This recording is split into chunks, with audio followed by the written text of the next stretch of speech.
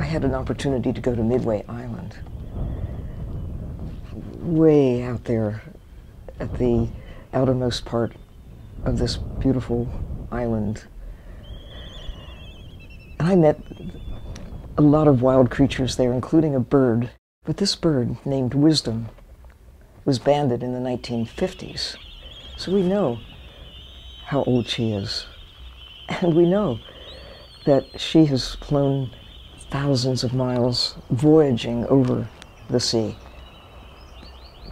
And surely in that time she has seen changes. The way those of us who've lived a few decades have witnessed changes, more change than during all preceding human history. Wisdom is a story of hope um, for, for all of the environmental problems in the world. Um, wisdom is alive and thriving, as old as she is, and, and it's a testament to the health of Papahanaumokuakea and the health of that system and the work um, that's gone on to protect and conserve that and to understand that place for generations and millennia.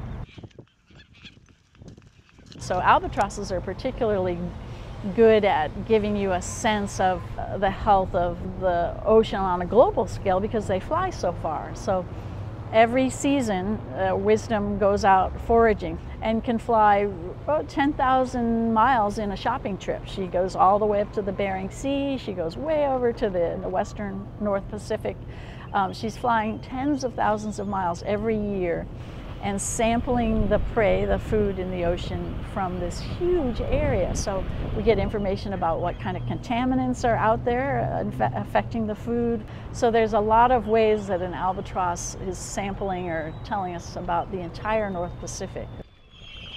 After traveling thousands of miles each year, Wisdom, the oldest documented bird in the wild, returns to Midway Atoll National Wildlife Refuge with a belly full of food for her newly hatched chick. We have some super exciting news to announce.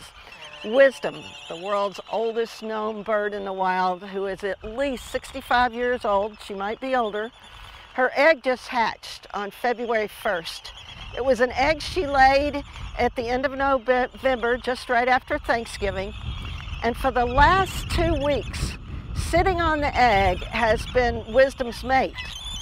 Once the egg hatched just last week, on February 1st, he continued to try to feed the chick, although there wasn't much left in his stomach for him to feed the chick with. So we are anxiously waiting for Wisdom's return, and she showed up last night uh, with her belly full.